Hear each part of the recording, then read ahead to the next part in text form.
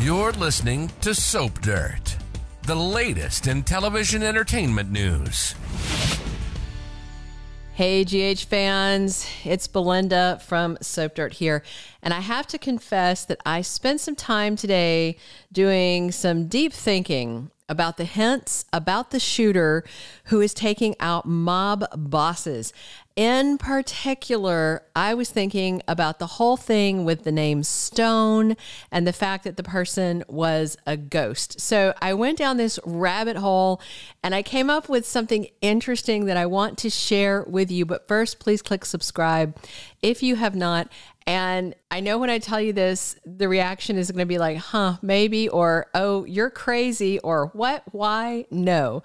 But hear me out. Hear me out. So, for the name Stone, we have several possibilities. Everybody's talked about it. First off, I just want to say if anyone thinks there's a remote chance that it is Stone Cates, the brother of FBI agent Jagger Cates, it is definitely not him. Hopefully, nobody's thinking this. That Stone died of complications of AIDS decades ago. They are not going to resurrect him and undo that. So I, I saw somebody saying that on Soap social media, and I was like, heck no, not going there. However, Jagger named his son Stone in honor of his brother. And yes, his name is a match, but there is just nothing at all that FBI agent John Cates said that in any way indicates that his son would be out taking shots at mob bosses.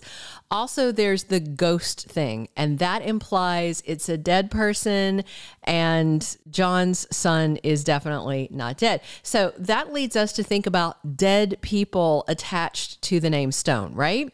First, of course, is Jason Morgan, aka Stone Cold, who's coming back on Monday. He's problematic for a few reasons. I have mentioned in some other videos, there's a possibility that he could be the shooter just because of the timing of everything and his comeback and that he might be holding a grudge of some sort. But you know, the more I think about it and the more spoiler info that we have, the more I feel like that Jason is not the shooter, but we do know he is part of the shootout at the docks that happens on Monday. That's where Sonny and Ava and Selina are, and where the cops are converging, and I think where the FBI might be converging. And with this new spoiler out, then the less I'm now thinking that there's any possibility he's the shooter. In fact, I'm now wondering if Jason shows up there to protect Sonny from the shooter. So, uh, in this spoiler photo, I can't show it to you because it's exclusive to People Magazine only. So Jason's in his standard black. He's not in the leather jacket. He's in a black, like Henley kind of thing. Uh, long sleeve shirt, black gloves, and it looks like he catches a bullet. Uh, it's kind of dark, so it's hard to see if there's blood there or not, but there's the, definitely something on his shirt looks wet. So it's just hard to see because it is a black shirt, but it looks like he might be shot in the shootout. So I actually am feeling like Jason might be there to take down the shooter. Possibly, we'll see. That would mean the FBI is chasing the killer, the Port Charles Police Department is chasing the killer, Sonny and his gang is chasing the criminals.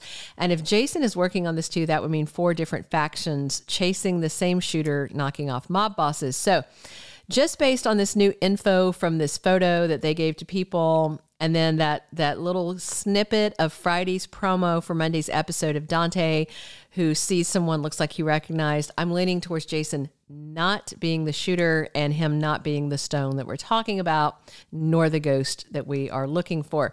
People have said in the comments here that if it were Jason, he would not miss not entirely true. He does not always kill his prey. For instance, he shot Franco back when it was James Franco in the part, and Franco survived and came back when they recast with Roger Howarth. Jason has missed on shots. He is not a perfect shot, not always. So there have been people that have survived encounters with him, but there is someone else to consider named Stone who is adjacent to Jason Morgan.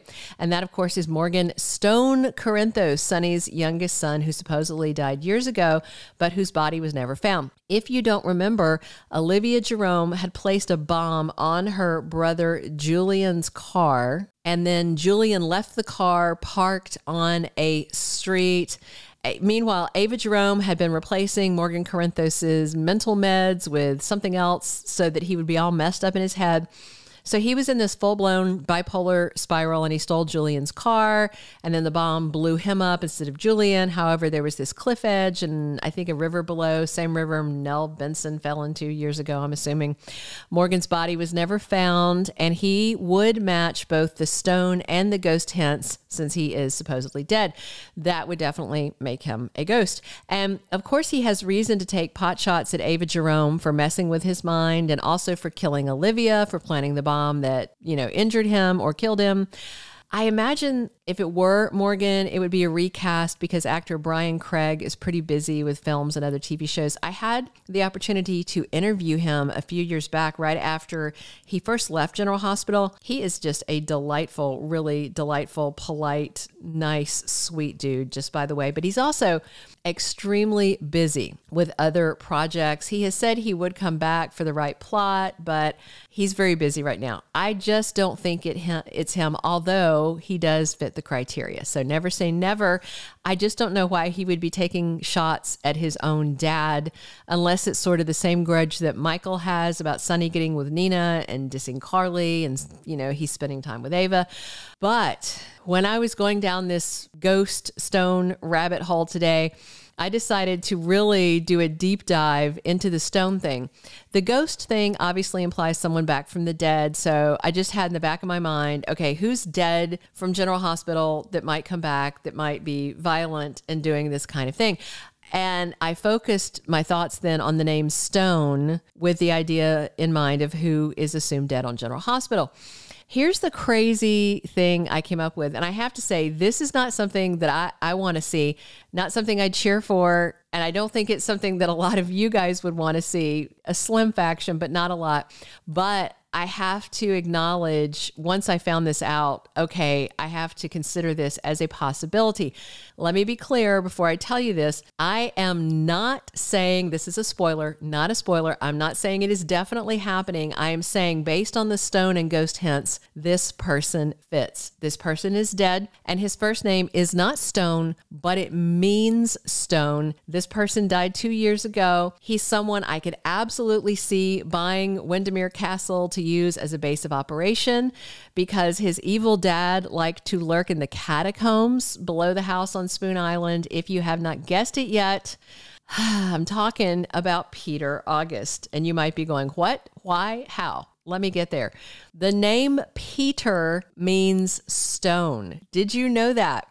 Well, I damn sure didn't until today. I was just running the word stone through a language translator. Okay. I was trying German and Italian and Spanish and all this and came up with the name Pedro, which I know is the Spanish version of Peter. And then just to double check to make sure I wasn't being crazy, I Google what's the meaning of the name Peter. And guess what? It is Greek for rock or stone. The Cassadines are, you know, part Greek, part Russian. Yeah. So, and he's supposed to be dead. And he has ties to Jason Morgan and to the Cassadines and to Drew. It all kind of makes the Wyndemere purchase logical. And yeah, Peter has a reason to take a shot at Anna Devane because she sat there and watched him die without dialing 911 to save his life. And yes, he did die on the soap, but it's a soap. Death doesn't mean anything if they don't want it to mean anything. You can blow people up, you can drop them off cliffs, they can still come back from the dead. Uh, a lot of people have. So he could absolutely have been retrieved and revi- revived by Victor Cassadine, who was his, you know, co conspirator or somebody at the WSB. Plus, there's the fact that Jason died fighting off Peter. Jason was trying to save Liesl and Drew and Britt in the caves in Greece. Don't forget that Peter kept Jason in storage as patient six the last time he came back.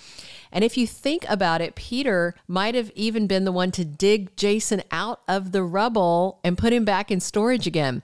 I mean, he knew right where Jason was buried in the cave in because he was in the shootout with him in the cave. Jason supposedly died in late 2021. And then in February of 2022, just a few months later, Peter supposedly died. I mean, Victor could have had them both in cold storage, and then they both thawed out after Victor died and they went their separate ways. Just quick timeline to consider Jason dies November 2021, Peter dies February 22. More than a year later, May 2023, Victor dies.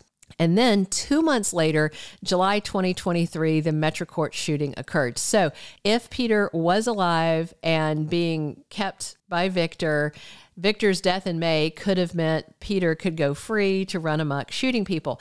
The real problem with trying to parse how this plot is going to go is that it was begun by the old writers the Metrocourt shooting, and then kind of abandoned. And then there was the gun thing and the pikeman thing, and then that was abandoned, and then they resurrected it.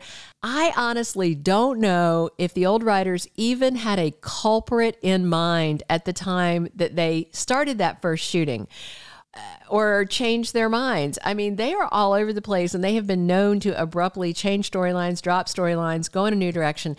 Honestly, I'm pretty pleased they got fired because I feel like they start plots, were starting plots all the time with no idea where they were heading. So now we have two new head writers, Mulcahy and Korte, and they Corta, and they were tasked with writing Jason's Return because the old writers allegedly did a hack job on it. And now we're heading into some sort of umbrella story, which will hopefully tie up loose ends.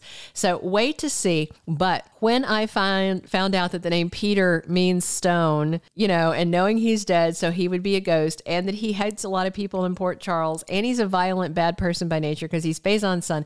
I just wanted to share this with you. I know it seems random and out of left field, but it fits it fits. And there's one more thing to consider. Laura Wright, who plays Carly Spencer, is very much a favorite of showrunner Frank Valentini. That's why she gets so much more screen time than a lot of other characters.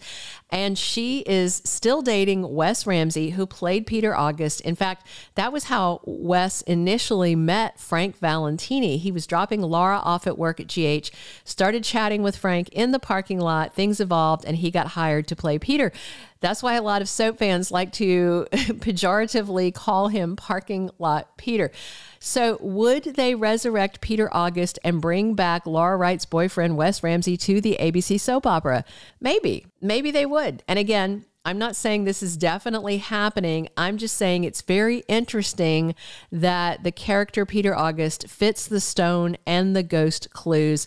But let me know what you think. Click subscribe, drop your comments about this. Come back soon. As always, it's Belynda from Soap Dirt. Thank you for being a loyal listener. Follow us wherever you get your podcast because you don't want to miss the next episode. Soap Dirt is on all the major podcast platforms, including Apple Podcast, Spotify, iHeartRadio, and more.